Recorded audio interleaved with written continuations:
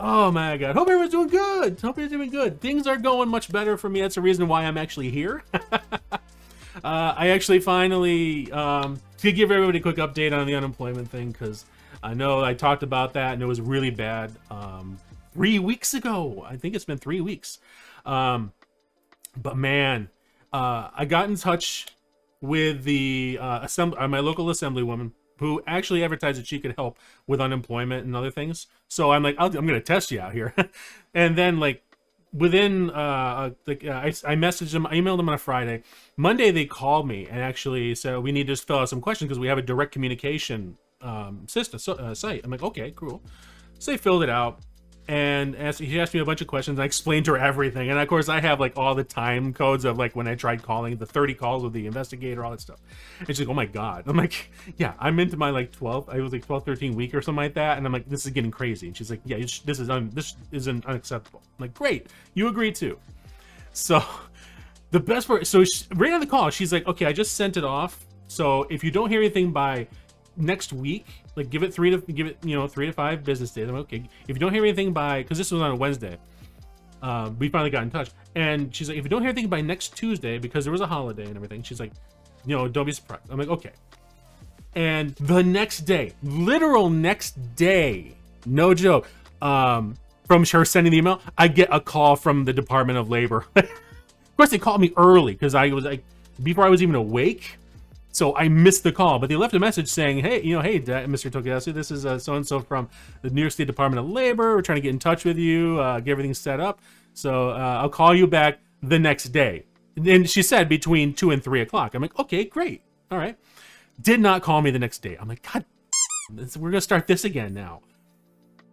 But, but, but, but the good news is that the week after, on the Monday, I think it was she called back. She actually called while I was in the re recording room, and you know, the, uh, thankfully I wasn't in a directed session, but she called. She's like, "Do you have a moment?" Because I'm like, "For you, hell yeah, i have got as much time as you need."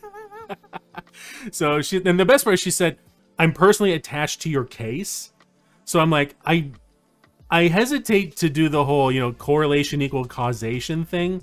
We saw enough of that our last few years, and I, I hate that. But the speed with which all of us all of a sudden the state is now suddenly moving after reaching out to an assemb my my my assemblywoman.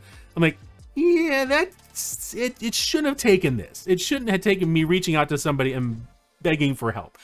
Regardless everything started to move. She, uh, I was on the phone with like 45 minutes with her. She was confirming things. She confirmed that I wasn't the one that filed a claim in 2020, so it was a fraudulent claim. She freed. She ended up having to basically reset, not necessarily reset, like, but redo my account, and so that it was actually um, uh, registered then. And all, no, no, then I started getting notifications. I'm like, oh hey, look at that. So she's like, okay, I'm gonna have to give you. I'm gonna have to get. I can't because like it's gonna take two or three days to get this set up before I could even start, you know, authorizing release releasing payments. And she was like, uh, "I'm gonna have uh, I'm gonna have to batch these out because you know at that point we're talking like you know 13, 13, 14 weeks. I don't even remember now. So it's like already today I saw that there was a list of like 10 payments, 10 weeks of payments. So they're not done yet. They aren't caught up, but Have, it hasn't come into the bank account yet. But the fact I got an email notification, email saying, "Hey, we we've agreed that you we you're eligible for unemployment." I'm like, "Oh, thank you." It's only been like three week, three months. Um, I got, I saw it on my Department of Labor uh, portal that all of a sudden all these payments were listed. I'm like, "Oh, thank God." So I felt like I can finally relax. I finally could like, yeah, a relieving day. It was, it was, it was, it was such a relieving day. Oh my God. So I figured, what the hell? Let's start at 11 o'clock. um, start a little earlier. And um, I'm also take. I also went and got a cheap little bottle of sake. I'm gonna I'm gonna celebrate this. That things are finally start finally starting to to move, and I don't have to freak out anymore. Um, oh man.